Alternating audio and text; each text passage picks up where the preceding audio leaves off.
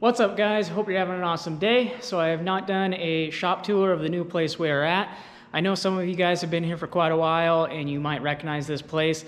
This is Corey's shop and we're back over here staying with Corey, renting a room for him. And it worked out great because he has a big shop with a ton of room. So got room for the extra projects. We're getting everything moved in. We're pretty much settled at this point. We have Blackout sitting here. And then I just got done moving the K5 over here. We're gonna be working on that soon. That way I can get it wrapped up and it will be a finished project. There's quite a bit to do there still, so you'll have content on that coming here soon. Not sure where I'm gonna be starting on that. We'll figure that out later. But got my boxes over here at the mean at the moment. A couple of them are in storage as of right now, but we have the welding cart set up here. That way we'll be able to be doing welding projects. Brought the bandsaw over as well as the belt sander. And then he has his drill press here and a bench. And then I also brought my press. Then got some welding stuff over there that is his as well as the air compressor.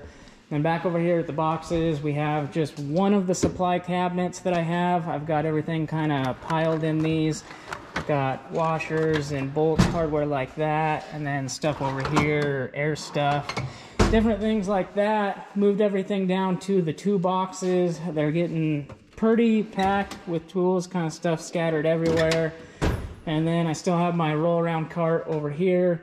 Not sure if I'm gonna keep that here at the moment. It is kind of nice to have when you're working on the lift. You can roll that over there and have tools that you need. So that is kind of what we got going on there. And then up top we have this shelf that I've I had at the old place. That is full of fluids and random other stuff.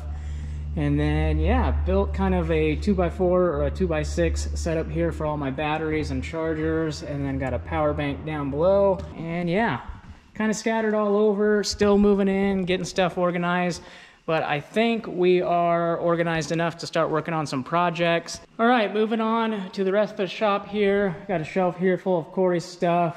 These are both Corey's boxes as well as the roll around cart. This is some of his dad's box, boxes and stuff, engines, tires, wheels, stuff, kind of stuffed over here. Corey Chevelle, some of you guys keep commenting on this thing. Drop a comment down below if you want to see him post some videos on this thing when he is working on it. He's going to be starting on it here soon. As soon as he gets some parts, they're kind of trickling in. Sadly, due to all the stuff going on right now, it's hard to get parts in. So that's been a battle for him, waiting on stuff for that. But yeah, anyways, drop a comment down below if you want to see him post some videos on this thing. It's going to be pretty sweet. Over here we have the rack that I had at my place, kind of full of all my parts that are for the K5 as well as Blackout. So hopefully we'll get that taken care of soon, get some of that stuff off here. Another rack over here full of Corey stuff. Got a car flipper in here. He's planning on putting the Chevelle on the car flipper so he can do all the body work and stuff related with that. That'll make it really nice. Got a pretty nice bench over there for when you're working on stuff on the lift here. Uh, yeah, kind of a seating area. We do need to redo the stove. I think Corey was wanting to start on that here soon before the winter rolls in. He wants to change it to the bigger barrel and get rid of the double barrel stove. So yeah, that's kind of the shop so far. There's quite a bit of stuff scattered everywhere. We need to do some cleaning. As you can see here, it is white and there's a frame still for when the K5 was getting painted, have that kind of draped with plastic that went up and around the car lift. That seemed to work very well for painting and then just had the door propped up with some fans. I think it worked pretty well. There wasn't overspray on anything else except for this area.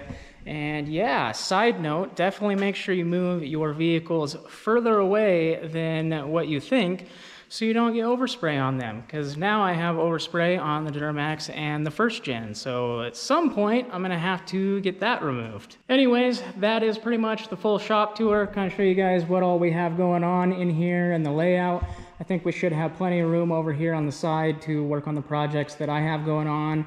And then I think Corey's gonna be tearing apart the Chevelle back here in between this area, as well as using the lift for separating that stuff. But hopefully we can keep the lift open for small stuff that we need to work on, whether it's broken parts or oil changes.